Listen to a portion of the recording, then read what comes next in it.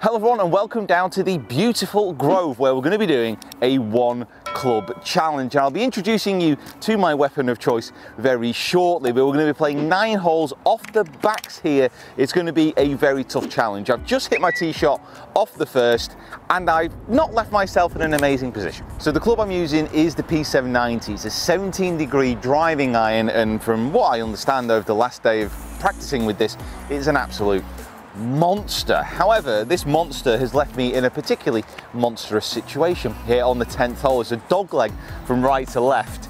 The pin's down there. I'm not even going to bother zapping it because there's no point. My, my predicament here is it's a one club challenge with a 17 degree driving iron and this green surrounded by bunkers. So, uh, I, don't, I don't know. I'm very tempted to go for the gap on the right. No, I've got to go through the middle. Got to go through the middle.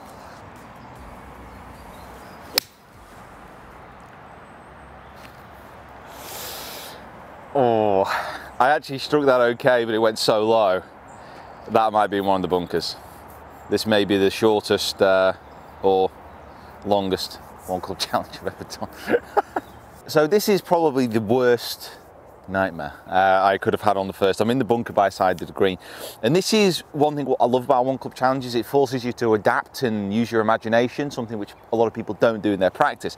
This is going to take a lot of imagination. Um, I basically have to open up my body to point massively left of the target, open up the club face as much as I can, get as low as I can, and literally just try and chop underneath the ball to just try and get it up and out. I'm saying that like I know what I'm doing, but I've got to be honest, I can't remember last time I tried to play this shot, so this could be interesting. I need someone like Jon Rahm here, he can play this really well.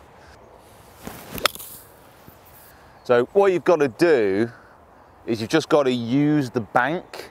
So what I did here is I controlled it like with this thick rough here. Hey, listen, it's just, it's just the way I envisaged it, it's the way I imagined it. Basically a course management god. I'm gonna put my hand slightly ahead so it's got very little loft on there. Just try and stroke it. It looks like it's gonna be slightly right to left when it gets on the green, but nothing crazy.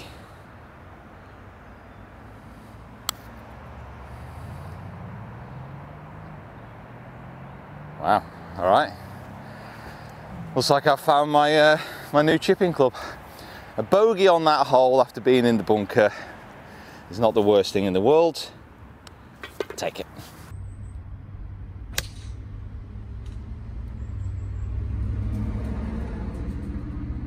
So that was a almost a toe shank uh, with the two iron. However, it's actually ended up all right. Clipped the trees right side of the fairway. 320 yards left in par five. So I'm just going to chip it almost just straight down the middle of the fairway, hopefully leave myself about 200 yards in, which I don't think I've ever said on a par five before.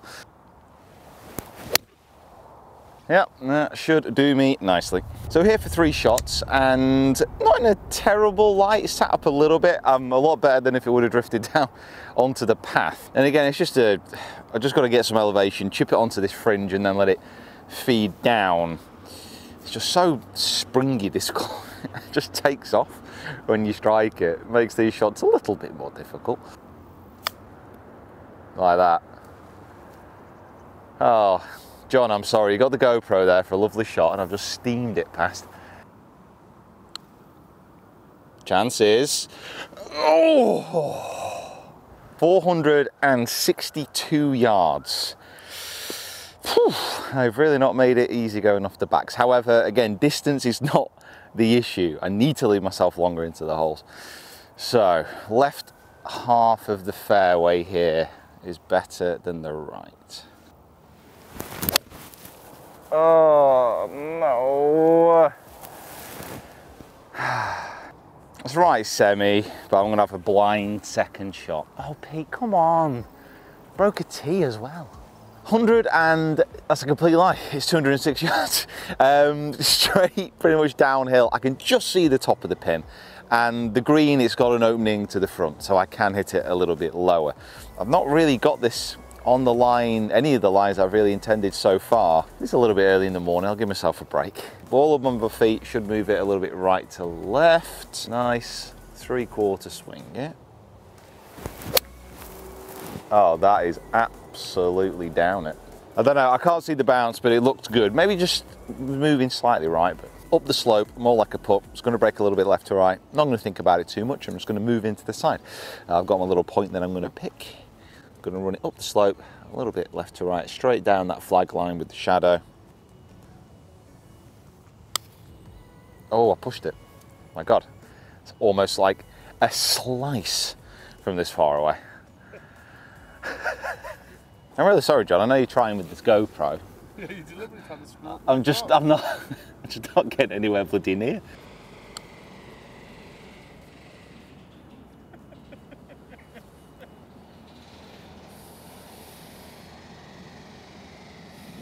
Was this a good idea, this video?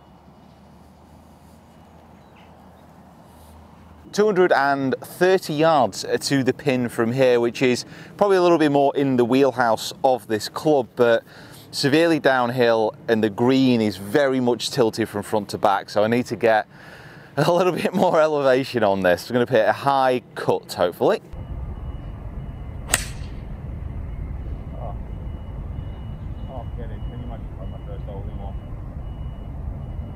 Right, um, I've got to be honest, I'm kind of happy with that tee shot, uh, but at the same time, I'm a little bit annoyed because it was bang on line and it's actually got backspin.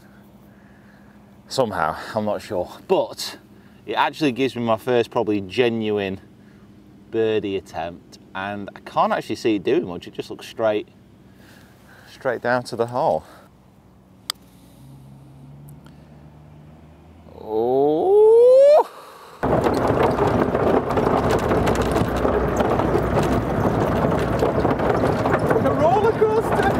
So 400 yards almost off this back tee and it is time for the stinger. It is slightly back into wind which basically means it's an excuse to hit a stinger, so that's what we're going to do. Now, the way I play a stinger is ball position is a little bit further back than usual. So with a 17 degree two iron, that's kind of almost on the left heel normally if you want to hit a normal launching shot. But for this particular shot, I'm going to put the ball back in the stance, so it's just forward of center of my stance. And that's going to be a little bit more of a descending blow onto the ball. Now, as I get descending onto the ball, my club is going to move slightly more out to the right-hand side. So I'm going to aim a little bit further further to the left. And then I'm just going to put a little bit of weight forward, so about 60% forward onto my left side, and just try and absolutely drill it, keeping my weight left. A little bit, like that. Remind me. Next time I'm in a competition, just remind me to talk through every single shot. I look like a complete nutter, but focuses the mind. No one's going to ever want to play with me. Nobody wants to play with me.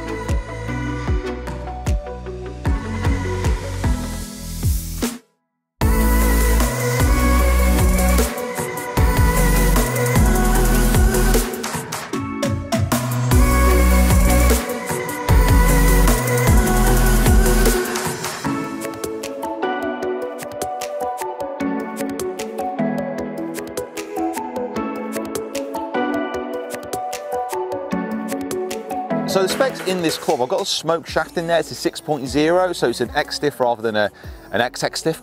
And I have to say, it feels pretty good. I've not actually liked smoke shafts that much, um, HZRDUS ones in other clubs that I've tried, but in this, actually, yeah, pretty steady. The actual club head design is very similar to the last P790. It's just got a better top line. It looks very straight behind the ball and it's a little bit more compact.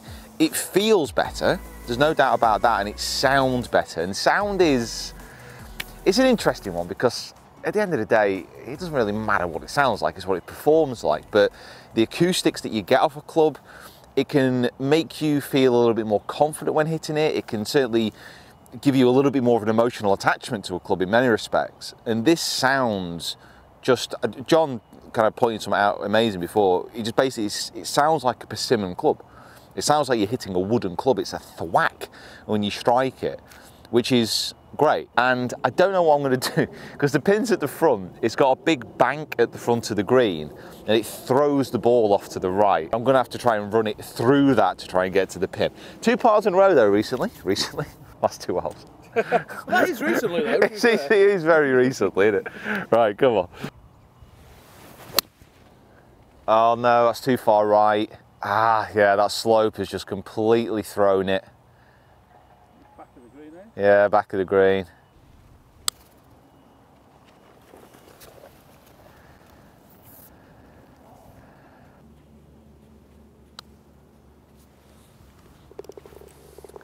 Right, par three, par five, par four finish. I want one birdie. Come on. Ah, the dying embers of summer, John. Last gasps before the autumn properly sets in. Oh, it's sliding, but not enough. Kick right. Oh, there's like a little hollow to the left of that green. I think it's just gone into it. It might have clung onto the left edge, but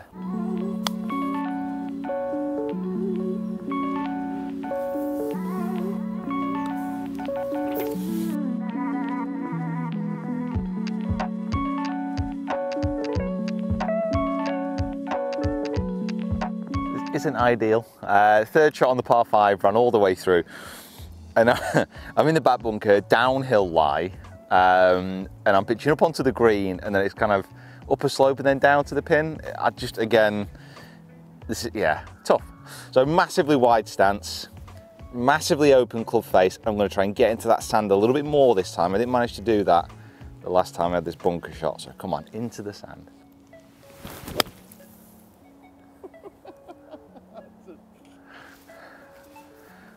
You might have overhit it, Pete. you think? You think I maybe give that a little bit too much? Wow. Oh man. Beast mode. Just when I thought I'd have that bloody birdie. And the walk of shame, one side of green to the other, off the other side, down the slope. It's a good job it's early in the morning, there's no one here. So we've got another chip and run, right, okay.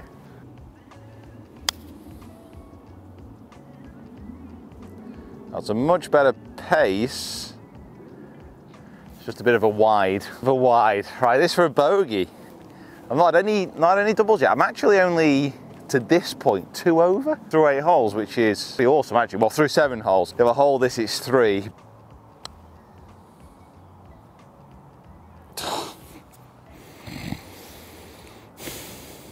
Last hole, last chance for a birdie. The last hurrah before an injection of caffeine, which my body desperately needs. And it is a toughie. It's like 440 yards, I think, off the back. And I need to get this, obviously 240 off the tee, give myself, obviously, about 200 in. It's a tough approach. This isn't the easiest birdie hole, but I've got this. Oh, that is a push. That is not a draw. Sit. Yeah, it's all right. It's in the right. It's actually probably not bad. It's in the right hand kind of rough, but the rough's not too thick here. It gives me a longer approach, which again is not a bad thing. Come on, John. Come on, John. You really do have to sing something that I hum along. 250 yards, and it's a little bit into wind off the right, which is probably why that kind of held up probably more than I expected it to. And this has just got a just got a good shot here, mate. It's just straight at the pin, 250. I'm on a slight downslope, so it's going to help me shoot it forward. Come on, one last good swing here. Oh, I've hit that so well, but it's left. Yeah, front left of the, well, front left off the green. Yeah, that breeze is definitely freshening. It's quite a little bit into now, and I've left myself with a horrendous chip and run. Um, I've got a huge bank here. I've got to kind of scoot it around and up to the left off that, and there's another bank before the green, and then the pins kind of at the front section.